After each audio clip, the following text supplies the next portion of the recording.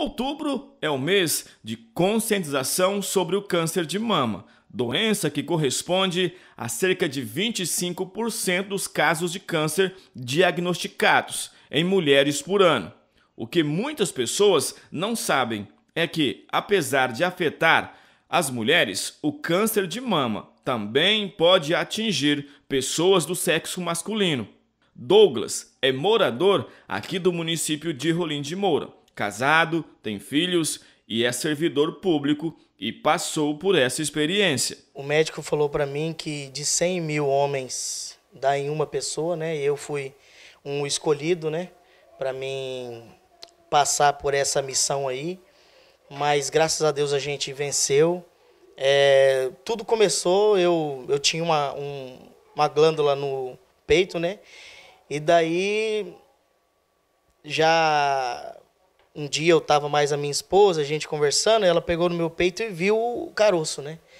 E daí ela viu que tava grande. Eu já fazia tempo que eu, que eu tinha esse caroço no peito e eu não sabia que tinha que, que tava tão grande assim. Então eu peguei no meu peito, vi que tava grande e aí fui lá fazer exames, né? Fui lá fazer exames, fui lá fazer uma ultrassom com o Dr. Leonardo, né, lá na Multimagem. E daí cheguei lá e, e, fazendo lá o exame lá, ele viu que tinha um caroço que estava irregular, né? Ele estava deformado. Então aí ele falou que para ele era câncer, né? Então ele falou, levanta da maca e vai para ou para Paraná ou para Cacoal que tem mastologista. Então eu rapidamente liguei para minha família em Cacoal, né, que mora lá, aí fui embora, fui lá para lá, levei o meu nenenzinho que estava com dois meses, a minha esposa, e fui lá e fui lá para lá. E daí lá cheguei, aí fiz os exames que tem que fazer, fiz uma histoquímica, aí fiz outra histoquímica avançada, aí fiz fiz biópsia, Fiz vários exames, cintilografia, tomografia, mamografia, né? Que o homem acha que só a mulher faz, né? Mas homem também faz, né? Então, daí fiz todos os exames, né? E deu tudo positivo, câncer, câncer, câncer, câncer, câncer.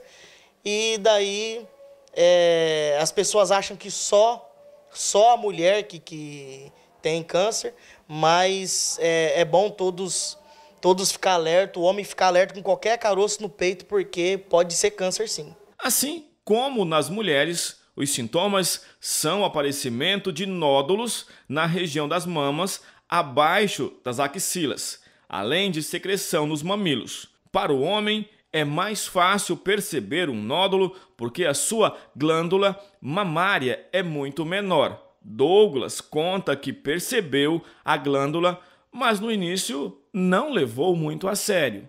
Pelo fato de a glândula mamária masculina ser geralmente atrofiada, com baixa produção de hormônios femininos, cerca de 1% dos casos são diagnosticados em homens.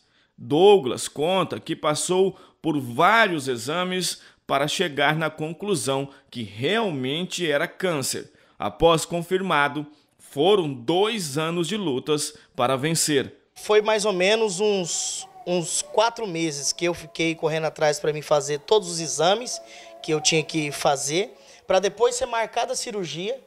Então, depois de marcada a cirurgia, é, rapidamente, né?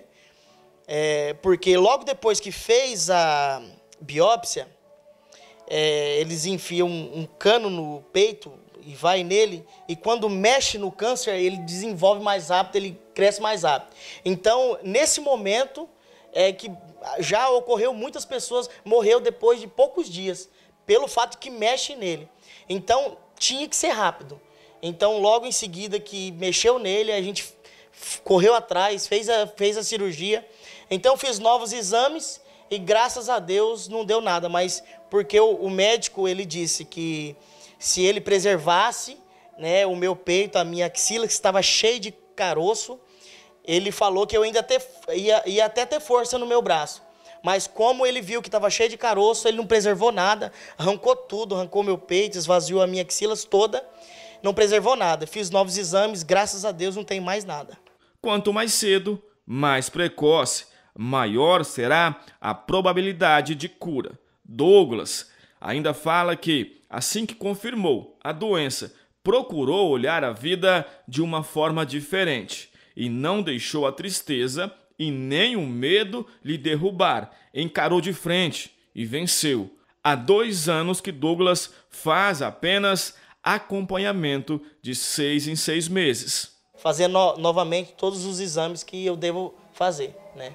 Agora, Douglas, depois da, da cirurgia, tudinho, não te atrapalha a trabalhar? Você continua trabalhando normal, mantendo a sua função? Sim, continuo trabalhando. Claro que esse braço meu ficou deficiente, né? Mas aí é, eu fui readaptado de função, né? A gente tem fé em Deus. Então, a, a, a pessoa com fé, com perseverança, acreditando que, que ela vai conseguir vencer, ela consegue vencer. Para muitos homens, fazer exames ainda é um tabu. A maioria não aceita fazer, pelo machismo e pelo orgulho falar mais alto.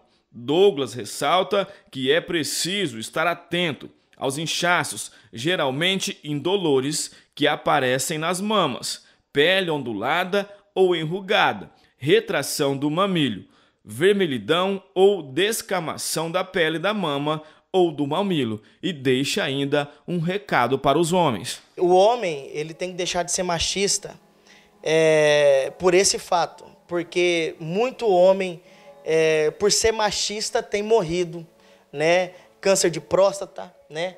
Câncer de mama já tem ocorrido no país inteiro, homens com câncer de mama, de 100 mil é um, mas ocorre.